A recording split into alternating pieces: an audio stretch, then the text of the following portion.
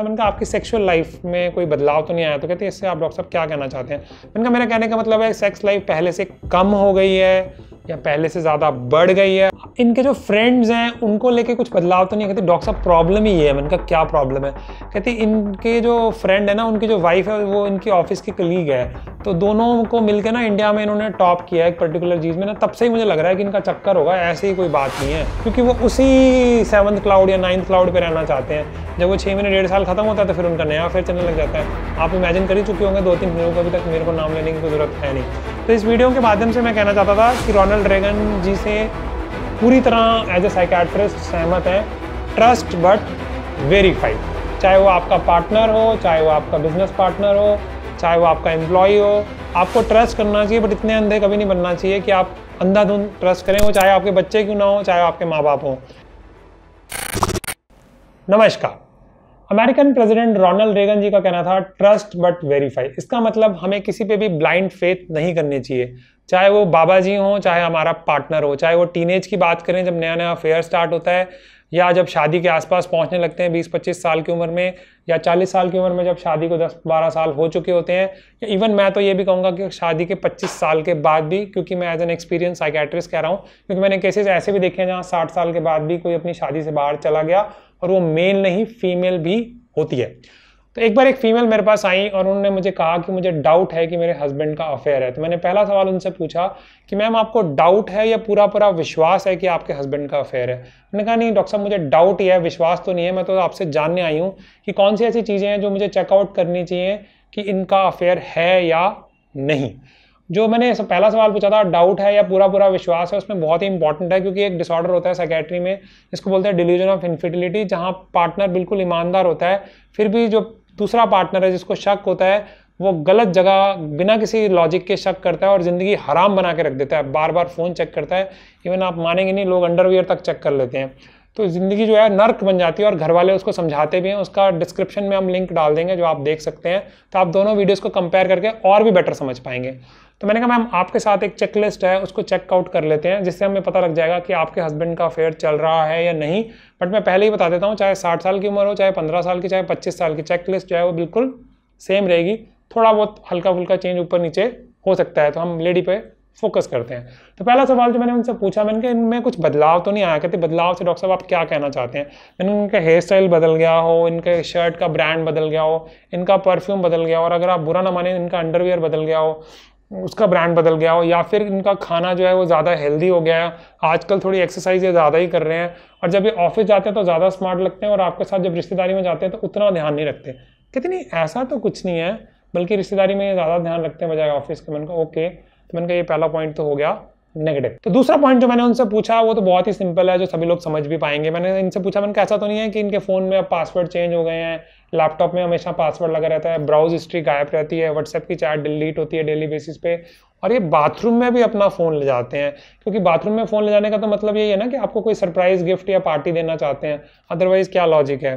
तो कहती नहीं, ऐसा तो कुछ भी नहीं है। मैंने कहा okay let's move to the next point next point जो मैंने पूछा तो मैंने उनको पूछा, मैंने कहा, आपकी सेक्सुअल लाइफ में कोई बदलाव तो नहीं आया? तो कहते इससे आप डॉक्टर साहब क्या कहना चाहते हैं? मैंने कहा, मेरा कहने का मतलब है सेक्स लाइफ पहले से कम हो गई है या पहले से ज़्यादा बढ़ गई है, अब इसके रीजंस क्या होते हैं, वो भी हम समझ लेते हैं। क्योंकि कई बार किसिंग स्टाइल भी चेंज हो सकता है। हो सकता है किसी का रिश्ता यहाँ तक पहुँचा ही ना हो कि वो सेक्स की करें तो किसिंग स्टाइल भी अगर चेंज हो गया तो भी डाउटफुल मामला हो सकता है कि प्रोपोन देखी जा रही है या फिर कहीं और किस तो नहीं किया जा रहा। मैंने कहा कोई किसिंग स्टाइल में चेंज आया या इस तरह की चीज़ों में तो होता क्या है कि अगर सेक्स कम हो जाए तो हो सकता है कि जिससे अफेयर चल रहा है, उसके साथ इमोशनल इन्वॉल्वमेंट इतनी ज़्यादा हो गई है, या फिर वो पार्टनर भी कई बार धमकाता है कि खबरदार तो उन्होंने अपने पार्टनर के साथ सेक्स किया तो इसलिए सेक्स लाइफ जो है काफ़ी कम हो जाती है या ना के बराबर भी हो जाती है, या महीनों महीनों सालों सालों सेक्स नहीं होता। उसके बाद ऐसा भी होता है कि सेक्स लाइफ बहुत बढ़ जाती है, क्योंकि कंपनसेटरी बिहेवियर भी हो सकता है, बिल्कुल उल्टा, ताकि वो, उनको जो गिल्ट है, वो ख़त्म करने की कोशिश करें। बल्कि एक मूवी थी आस्था करके, जिसमें ओमपुरी और रेखा का रिलेशन था, और रेखा जो है, वो घर से थोड़ी बाहर चली जाती है तो काफ़ी वाइल्ड और एडवेंचरस हो जाती है सेक्स लाइफ में। इसको ओमपुरी देख के भी थोड़ा हैरान सा हो जाता है कि ये क्या हुआ है बट मज़े लेता है वो। बट मज़े नहीं, उस टाइम थोड़ा सजग होने की ज़रूरत है, या स्मार्ट होने की ज़रूरत है कि कोई गड़बड़ तो नहीं हो गई है। मैंने कहा, नहीं, ऐसा तो डॉक्टर साहब कुछ नहीं है। मैंने कहा, ठीक है, फिर नेक्स्ट पॉइंट पे आते हैं। मैंने कहा नेक्स्ट पॉइंट ये है कि इनके बिहेवियर में कोई बदलाव तो नहीं आया? मैंने कहा बिहेवियर में बदलाव से क्या जानना चाहते हैं? मैंने कहा, मैं ये जानना चाहता हूँ कि आजकल आप में गलतियाँ ज़्यादा निकालते हैं आपके खाना बनाने में, आपकी बॉडी वेट को लेके, या बोलते हैं कि बिस्तर में अब तुम उतनी इंटरेस्टिंग नहीं रही जितनी पहले थी, या बिना बात के चिड़चिड़े या गुस्से में आते कहते, नहीं, डॉक्टर साहब, ऐसा भी कुछ नहीं है। तो मुझे डाउट तो होने लगा कि इनका अफेयर है भी नहीं। मैंने कहा, कोई नहीं चेकलिस्ट तो पूरी कर लेते हैं, अगले पॉइंट पे चलते हैं। फिर ये था कि इनके कहीं बिहेवियर में चेंज तो नहीं आएगा। जैसे आप फ़ोन करती हैं तो इनका फ़ोन बिज़ी रहता है या इनका फ़ोन बेसमेंट में चला जाता है अनरीचेबल हो जाता है स्विच ऑफ़ हो जाता है और ये मीटिंग में बहुत बिज़ी रहते हैं, इसलिए नहीं उठा पाते या ड्राइव कर रहे होते तो आजकल सेफ़ ड्राइविंग कर रहे हैं। पहले तो ड्राइव करते करते भी फ़ोन उठा लेते थे। आजकल सेफ्टी का थोड़ा ज़्यादा ही ध्यान रख रहे हैं कहते नहीं, डॉक्टर साहब, ऐसा भी कुछ नहीं है। मैंने कहा, ओके। उसके बाद जो अगला सवाल मैंने उनसे पूछा वो ये था कि इन, इनके जो फ्रेंड्स हैं, उनको लेके कुछ बदलाव तो नहीं कहती, डॉक्टर साहब प्रॉब्लम ही ये है। मैंने कहा, क्या प्रॉब्लम है? कहती, इनके जो फ्रेंड है ना, उनकी जो वाइफ है, वो इनकी ऑफ़िस की कलीग है। तो दोनों को मिलके ना इंडिया में इन्होंने टॉप किया है एक पर्टिकुलर चीज़ में ना, तब से ही मुझे लग रहा है कि इनका चक्कर होगा, ऐसे ही कोई बात नहीं है। उनका ओके। तो मैंने कहा, जो उनके हस्बैंड है फीमेल के, जिनके साथ आपको चक्कर लग रहा है, क्या उनके बिहेवियर में आपके साथ कुछ चेंज है? नहीं ऐसा तो कोई खास चेंज नहीं है। बल्कि आप लोगों ने देखा होगा पति पत्नी और वो जो नई वाली मूवी आई थी उसमें क्या था कि आ, उसमें जो अपार शक्ति जो फ्रेंड था कार्तिक का वो ज़्यादा ही केयरिंग हो जाता है भाभी जी के लिए और अपने दोस्त को बचाने की कोशिश करता है। तो फ्रेंड्स में भी दो तरह के बिहेवियर आ सकते हैं चाहे वो टीनेजर्स ही क्यों ना हो। उनमें क्या आ सकता है कि फ्रेंड्स जो हैं या तो एक्स्ट्रा केयरिंग हो जाएँगे आपको अवॉइड करने की कोशिश करेंगे। केयरिंग की हो जाएँगे? उनको लगेगा कहीं ना कहीं आपके साथ छल हो रहा है या झूठ हो रहा है।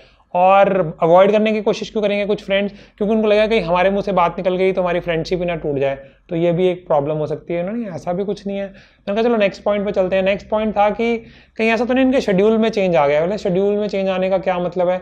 मैंने कहा, ये जिम में ज़्यादा टाइम बिताते हैं। इनका बार बार टायर पंचर हो रहा है। बैटरी ख़राब हो रही है और जो है ट्रैफ़िक जाम में फंस जाते हैं और जो इनकी मीटिंग्स हैं वो आउट ऑफ़ स्टेशन जो है वो बढ़ गई हैं। कहते हैं, ऐसा भी कुछ नहीं है। मैंने कहा ओके तो मैंने कहा let's move to the next point उसमें इंपॉर्टेंट पॉइंट ये है कि मैंने कहा, घर के फाइनेंसिस कौन मैनेज करता है? कहते हैं, इनके तो बस की बात ही नहीं है, पैसों को संभालना, सारे पैसे तो मैं ही संभालती हूँ. तो मैंने कहा अपने क्रेडिट कार्ड की स्टेटमेंट्स देखी बैंक की एफ़ देखी, उसमें कोई दिक्कत तो नहीं है?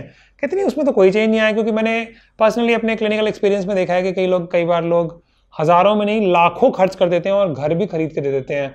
एक पेशेंट थे, उन्होंने तो पचास लाख का ब्यूटी पार्लर ही खरीद के दे दिया था अपनी जो फ्रेंड थी उनकी शादी के अलावा। तो इतना इतना खर्चा भी हो जाता है। तो कोई अनएक्सप्लेन खर्चा भी नहीं था, बल्कि यहाँ तो वो खुद ही खर्चा मैनेज कर रही थी। अब जो बात बची थी वो थी इमोशनल इंटीमेसी मैंने इमोशनल इंटीमेसी मैं आपको पहले समझा देता हूँ। इमोशनल इंटीमेसी भी क्या होता है, जब भी कोई नया अफेयर चलता है यंग एज में चले ओल्ड एज में या चाहे, वो तो शुरू में ना उसमें लस्ट होती है। एक बात होती है, एक वासना की आग होती है और मज़ा आता है, हर चीज़ में मज़ा आता है। बात सुनने में गाली भी दे, तब भी मज़ा आता है।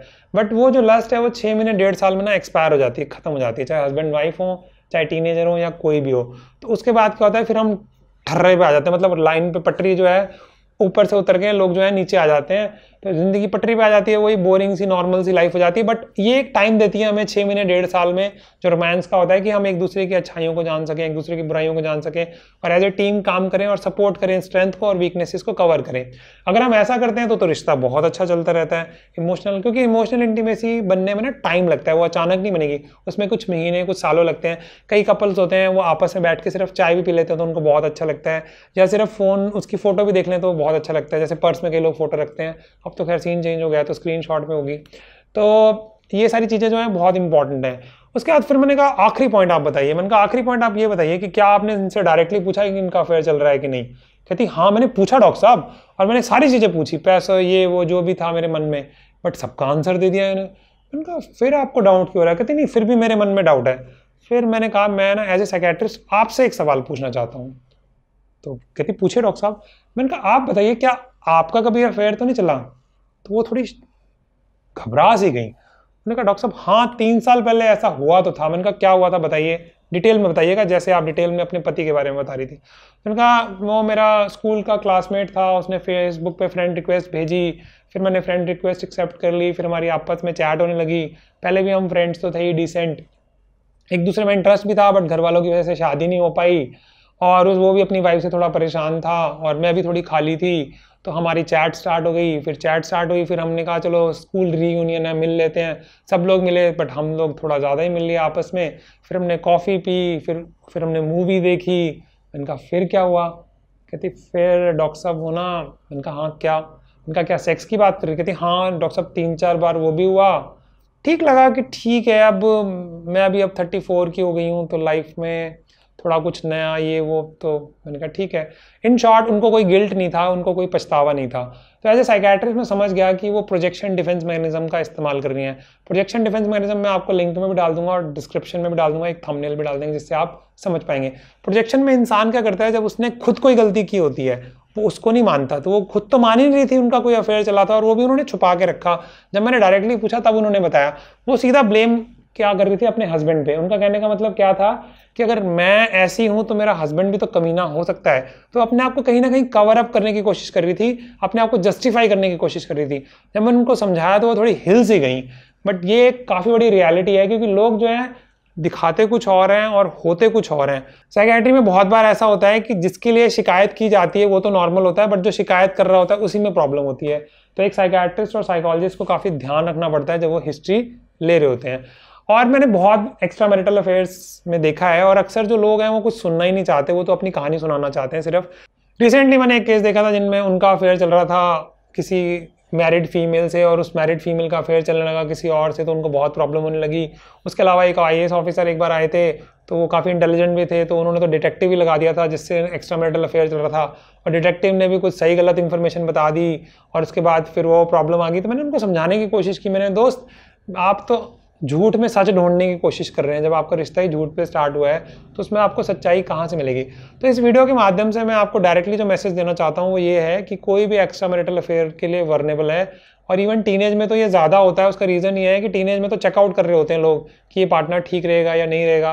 तो कमिटमेंट देने के लिए तैयार नहीं होता, लड़कियाँ हों या लड़के हों, सिर्फ़ ऐसे ही रिश्ता चल रहा होता है कि चलो मूवी देख ली, खा लिया, पी लिया, घूम लिए, मज़े कर लिए, अभी कमिटमेंट नहीं देना चाहते क्योंकि वो देख रहे होते हैं कि, क्योंकि लॉन्ग टर्म रिलेशनशिप के फंडे अलग होते हैं शॉर्ट टर्म रिलेशनशिप के फंड होते अलग होते हैं। मिडिल लाइफ में क्या होता है, लोग बोर से हो जाते हैं, उनको एक नया स्टेप मिलता है। बाद में पंगे उससे भी बुरे होते हैं। जो शादी में होते हैं, उससे भी बुरे पंगे होते हैं। बट उस टाइम तो फिर वो रोमांस लस्ट वासना, जो मर्ज़ी आप कह लीजिए, आ जाती है। ज़िंदगी में चार चाँद लग जाते हैं बट छः महीने, एक साल के बाद। अब हीरो हीरोइंस को देख लीजिए, किसी का नाम लेने की ज़रूरत ही नहीं है। एक के बाद एक अफेयर चलते रहते हैं, क्योंकि वो उसी सेवन्थ क्लाउड या नाइन्थ क्लाउड पे रहना चाहते हैं। जब वो छः महीने, डेढ़ साल खत्म होता है तो फिर उनका नया अफेयर चलने लग जाता है। आप इमेजिन कर ही चुके होंगे दो तीन हीरो को अभी तक मेरे को नाम लेने की कोई ज़रूरत है नहीं। तो इस वीडियो के माध्यम से मैं कहना चाहता था कि रोनाल्ड रेगन जी से पूरी तरह एज ए साइकैट्रिस्ट सहमत हैं ट्रस्ट बट वेरीफाई चाहे वो आपका पार्टनर हो, चाहे वो आपका बिज़नेस पार्टनर हो, चाहे वो आपका एम्प्लॉय हो, आपको ट्रस्ट करना चाहिए बट इतने अंधे कभी नहीं बनना चाहिए कि आप अंधाधुंध ट्रस्ट करें, वो चाहे आपके बच्चे क्यों ना हो, चाहे आपके माँ बाप हों। क्योंकि कोई भी जो है, वो इंसान इंसान है, गलती कर ही सकता है। जितनी जल्दी अगर हमें डाउट होने लगे तो सीधा बात कर लेनी चाहिए। क्योंकि खासकर फीमेल्स में क्या होता है, कहीं ना कहीं वो सहम जाती हैं, घबरा जाती हैं, खासकर फाइनेंशियल इश्यूज़ की वजह से। तो ऐसा नहीं करना चाहिए। आपको अपने ट्रस्टेड पार्टनर से सबसे पहले बात करनी चाहिए, जिस पे आपका ट्रस्ट खो गया। अगर आपको डर लग रहा है तो आपको अपने फ्रेंड से बात करनी चाहिए, जिससे आप खुल के बात कर सकते हैं। फिर भी आपको दिक्कत आ रही है तो फिर एक प्रोफेशनल हेल्प लेने में भी हिचकिचाना नहीं चाहिए, चाहे वो साइकोलॉजिस्ट हो या साइकेट्रिस्ट हो। तो आज के लिए दोस्तों इतना ही। धन्यवाद।